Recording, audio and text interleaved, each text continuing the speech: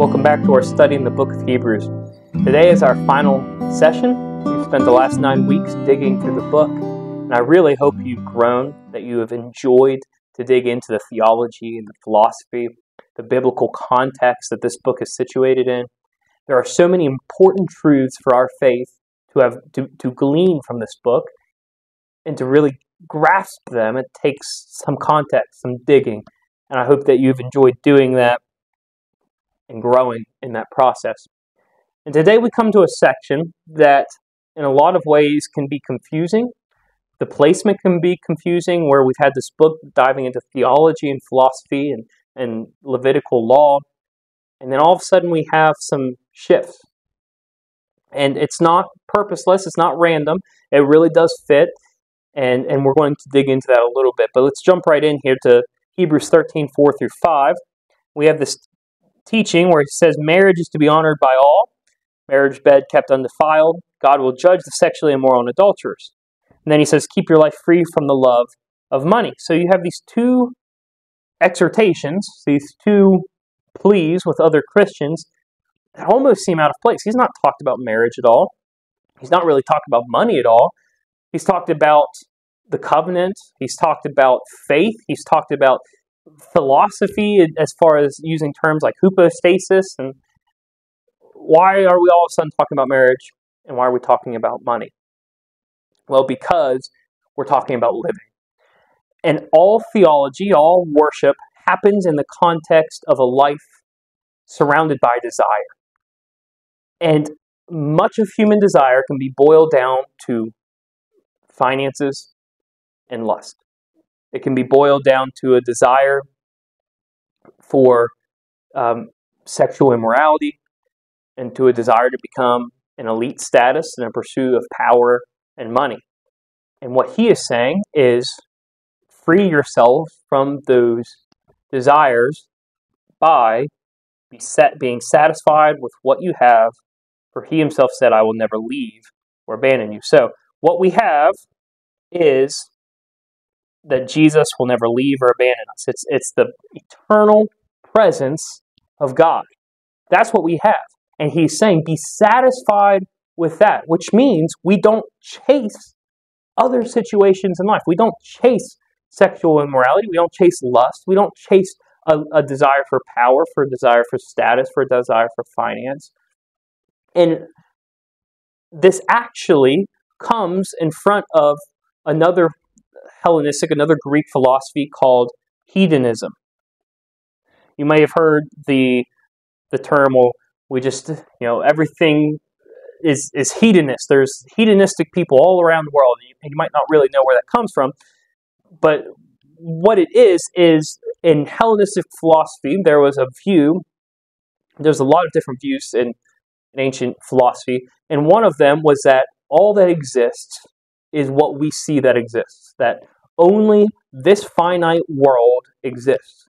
And if that's the case, if all that exists is our reality, meaning there is no undergirding reality, there is no eternal truth, there is no concrete reality in which all of our experience comes from, all that exists is the experience. So, in a hedonistic view, that's all that exists. The experience is all that exists. If that's true, then you're going to live for the pursuit of happiness. You're going to live for joys, no matter how short lived they might be, you're going to live for pleasure. And that's the hedonist mentality is that pleasure is the basis of existence. That pleasure is the basis of living. So you pursue money, you pursue sexual immorality because you find pleasure in those things. What the author of Hebrews is saying is the experience is not all there is. The experience comes from something eternal.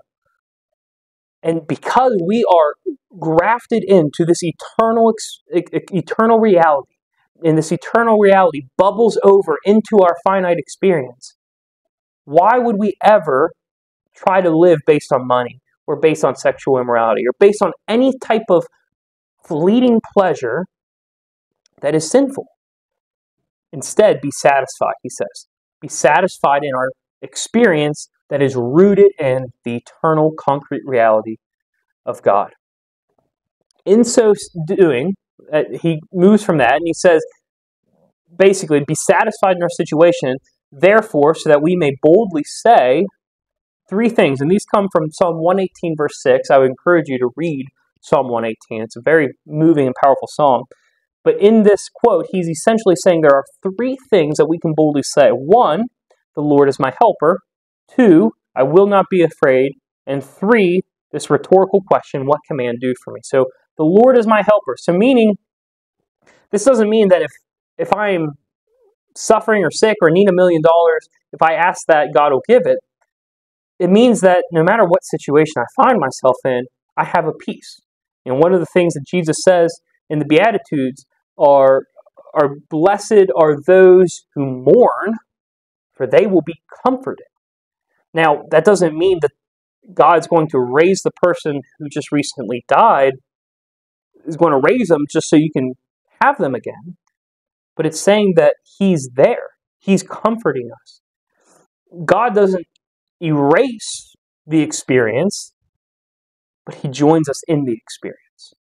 His concrete reality comes alongside us and infiltrates our experience without doing away with the suffering. He's our helper. Therefore, we don't have to be afraid. Now, what this means, it doesn't mean that anxiety is gone. It just means that if we are living for an eternal reality, if that eternal reality is always already resting within us, what situation or circumstance do we have to be fearful of here? It's all finite. It's all fleeting. It's all moving. And that doesn't diminish what someone might be going through. If you're going through an illness like cancer, if you're going through a financial struggle where you don't know where your next meal is, that is a fearful time to be in. But he's saying, I won't let that fear dictate me. Well, why? Because if we're believers, we don't, we, what we believe is that we have an eternal reality, an eternal presence in God, Uh, eternal place in God's presence awaiting for us. So no experience in this life can diminish eternal value. And, and that's what it, call, it comes down to is, is value. The hedonist culture says that because there is nothing eternal, what we hold as valuable is what we should pursue. If you hold power and money as valuable, that's what you need to pursue. If you hold pleasure and, and, and lust as valuable, that's what you pursue. But we know that there is something eternal, which means that is all that it is more valuable than anything else. The author of Ecclesiastes paints this picture by saying everything is meaningless. Why does he say everything is meaningless? Because everything is fleeting. Young age is fleeting. Money and power is fleeting because it doesn't stay with you. The only thing that has value is eternity. So we don't have to be afraid because we have eternity. Therefore, what can man do to me? What can man do for me? Is another way to read this as well. Man can't cause me any suffering that diminishes the value of eternity.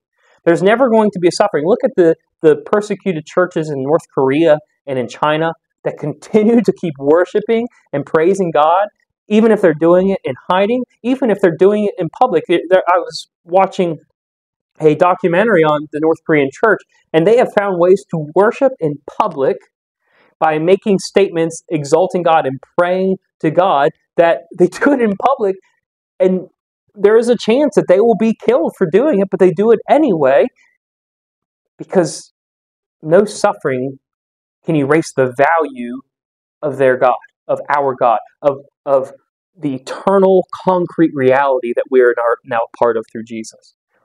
What can man do to me? Nothing. What can man give me? Nothing. There is nothing more valuable than eternity. So, the, all of this comes down to the situation that we live. We can face any situation because of value.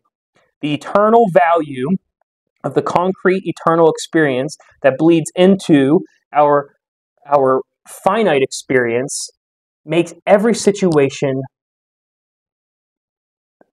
makes us able to go through any situation makes every situation tolerable, makes every situation something we can find joy in because we're not we're not defined by situation, we're not defined by circumstance, we're not defined by possession, we're defined as Christians by the homoousios homostasis that, that we're a part of.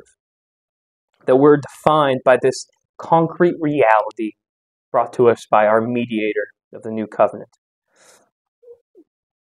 Therefore, how do we live this out? Well, we come then to a, we go from all of this statement about situation to this, to this teaching from the, from the book of Leviticus. And if you want some more background on that, it comes from Leviticus 16, verses 20 through 28. And this teaching has to do with cleansing the holy place. So if you remember our drawing of the tabernacle, you have the tabernacle uh, courtyard with the wall set up, and then you have the tabernacle, and you have the holy place and the most holy place. In the most holy place, that was where God's presence was. And once a year on the Day of Atonement, the high priest would go in and cleanse that because all of God's people, all of Israel, had to be cleansed in order to be in right standing with God. They, he would go in and cleanse it. And then he'd come out to the altar and they would take an animal and they would sacrifice that animal and they would lay hands on that animal and the carcass of the animal or the animal would take all the sins of the people the animal would die and the carcass of that animal would then be taken. So if you have the camp surrounding israel here the carcass would then be taken outside of the camp. And more than that there would be a person that would carry that carcass outside the camp and there would be a person that would that would um, carry the animal that had all the sin imputed onto it. So there was two animals that would be taken outside of the camp as well. Now those people had to go through all sorts of ritual cleansing and stuff to then come back inside the camp. What the book of Hebrews is saying, what the teacher is saying here, is that Jesus is the one who offers it, offers the sacrifice on the altar, but he's also the one that goes outside the camp. He's the one that's disgraced. He's the one that is taken outside. He's the one that, that bears all of the sins of the world and gives us the righteousness. It all happens through him, and then he goes outside the camp. And the reason the teacher is bringing this up is to say that we then, because he has done that, therefore, let us, application, go to him outside the camp. Let us too bear that type of disgrace. Let us bear a, a, a, desire to serve others. Let us bear a diminishing factor. You know, think about how many Christians you know, which it's sad to think about, but how often do we come across someone that looks at themselves as being better than other people, that exalts themselves because they do things right or because they're holy or, or whatever?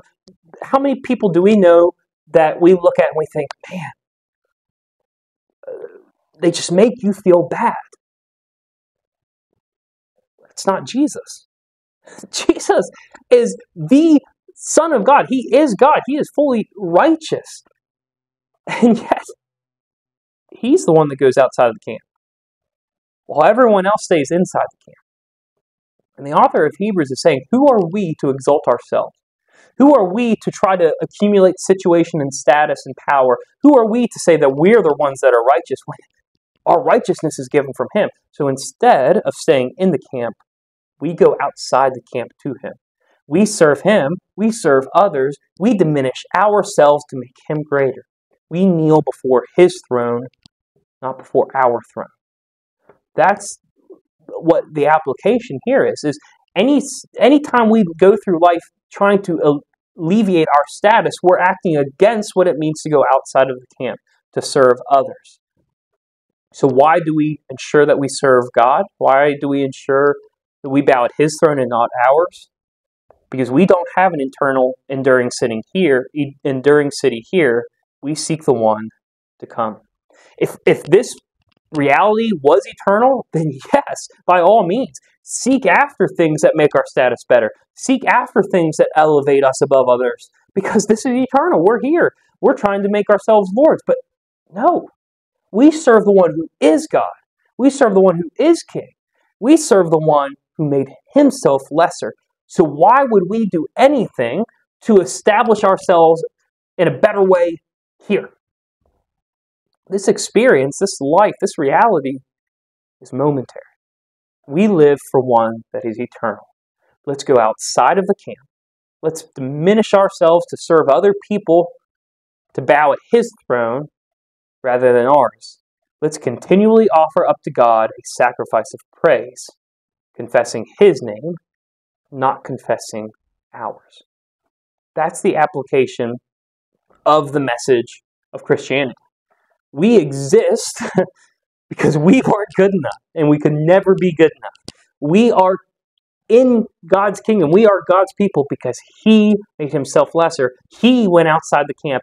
He bore our disgrace. He took on our unrighteousness. Why would we ever stand on that and say, Look at us, look at how good I am?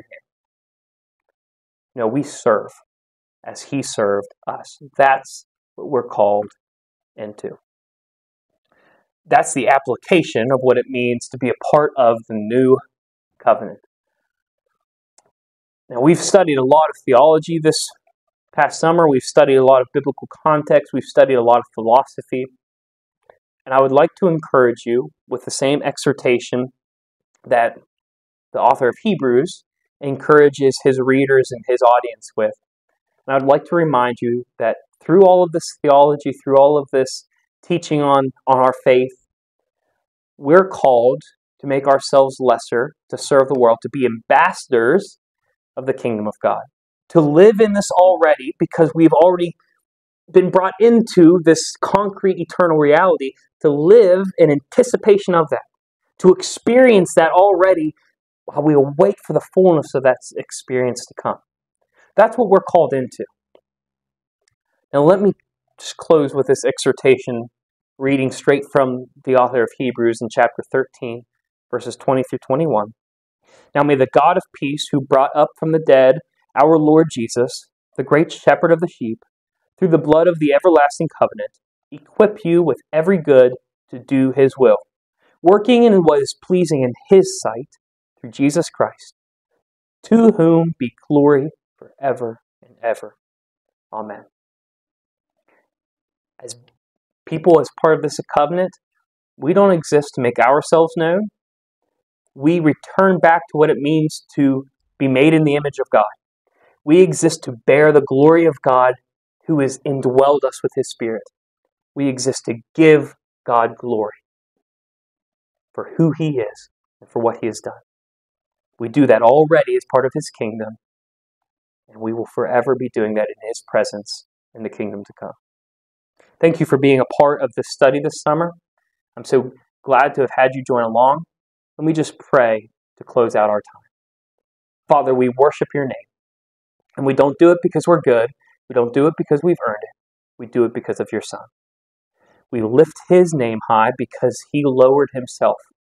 We lift his name high because he took on our unrighteousness. Jesus, we lift your name. Help us to live it out to serve others, to serve you, to glorify you, to not sit at our throne or glorify ourselves, but thank you for who you are, for bringing us into this new covenant through your work, that we might worship you and be a, your kingdom of, of believers already. But Lord, plant that desire for your not yet kingdom, for that eternal presence plant it in our hearts that we live in anticipation of that, no matter what situation might come in our life. Thank you for bringing us into your people. It's in Jesus' name that we pray. Amen. Thank you for joining throughout this, uh, this series this summer. Look forward to continuing to grow and study and worship together already in the here and now but for all of eternity as brothers and sisters in Christ.